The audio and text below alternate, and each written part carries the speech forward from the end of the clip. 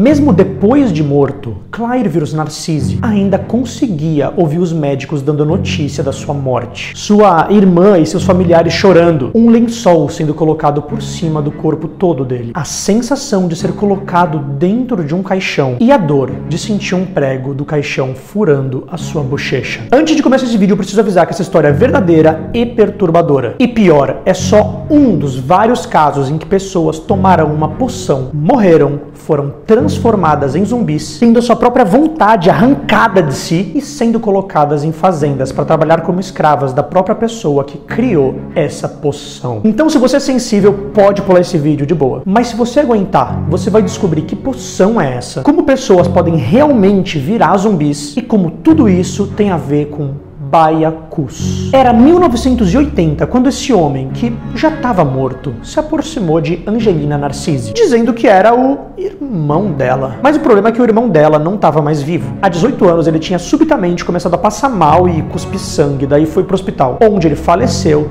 três dias depois. Inclusive com dois médicos assinando o atestado de óbito dele, tá? Do jeitinho que está vendo aí na tela. Esse é o atestado de óbito original dele. Então foi enterrado no dia seguinte. Mas esse homem que se aproximou da Angelina ele sabia demais. Falou para a irmã dos apelidos de infância que só eles dois sabiam e de outras coisas que só realmente quem era da família poderia saber. Tendo provado sua identidade, ele contou tudo o que aconteceu com ele. Contou como alguém foi até o cemitério à noite, desenterrou o caixão, tirou ele lá de dentro, deu uma outra poção para reanimar ele e finalmente o levou até a fazenda, onde ele foi feito de escravo. E essa pessoa que fez tudo isso não era uma pessoa qualquer, e sim um feiticeiro voodoo. É importante dizer que essa segunda poção aí não deixou ele novinho em folha, não, não. Deixando ele, na realidade, em um estado semi-catatônico, em que ele simplesmente perdeu a sua vontade própria, ficou muito confuso e afins, e permaneceu nesse estado por dois anos enquanto trabalhava como escravo. E isso tudo foi feito como uma punição dentro da religião voodoo. Parece que a história é que o Cliverus não quis pagar a pensão para alguns filhos que ele teve com algumas mulheres, e que teve um problema com um terreno da família, e então o feiticeiro decidiu que era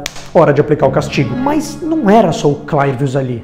Tinham centenas de pessoas trabalhando naquela mesma fazenda, cada um com o seu castigo. Como essa moça que você tá vendo aí, que foi transformada em zumbi por ter traído seu marido, que foi reconhecida por sua mãe graças a uma marca de nascença. Você aí que tem marca de nascença e reclama disso, reveja seus conceitos. Pode ser muito útil algum dia, espero que não. Felizmente, um dia, um dos zumbis acabou matando esse feiticeiro. Os escravos se viram, sei lá, soltos. E quando isso aconteceu, o Clive já era zumbi há dois anos trabalhando lá na fazenda. E desde então ficou vagando pelo Haiti por 16 anos até encontrar finalmente a sua irmã. O caso ficou muito falado e muito conhecido, e é aí que entra Harvard. Porque vários cientistas da área médica, antropólogos, botânicos, biólogos, se debruçaram em cima desse caso para entender como essa poção funcionava e descobrir se ela tinha potencial para salvar vidas. Muito melhor do que ficar fazendo escravo zumbi, você não concorda? E essa foi a missão de Wade Davis. Começou coletando diversas amostras de diferentes poções de diferentes feiticeiros, voodoos, para analisar as substâncias que compunham a poção, tanto as substâncias de origem animal quanto de origem vegetal. As duas vão ter importância. Vale salientar que as poções eram diferentes entre si, tá? Cada feiticeiro fazia tipo sua misturinha. Mas teve um ingrediente que o Wade Davis percebeu que se repetia em todas as poções. E é aí que entram os baiacus. Porque esse era o ingrediente. Peixe. Peixe da família dos baiacus. E esse tipo de peixe tem na pele e também nos órgãos internos uma substância chamada tetrodotoxina, que intoxica a pessoa que ingere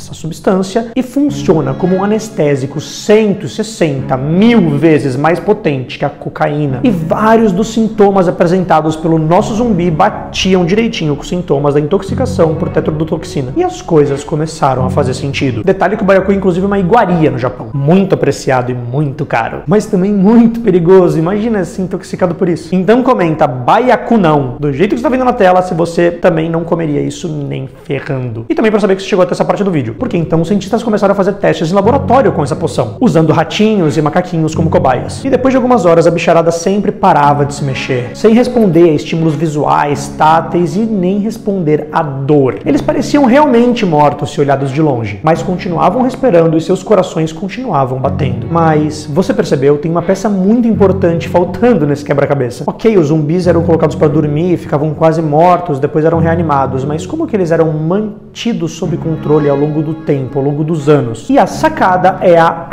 comida deles. E na realidade era uma espécie de ração que os zumbis comiam, que continha uma planta específica da família das daturas, que também é chamada como pepino de zumbi. Eu encontrei também o nome erva do diabo. Dá pra ver que é só nome tranquilo, né?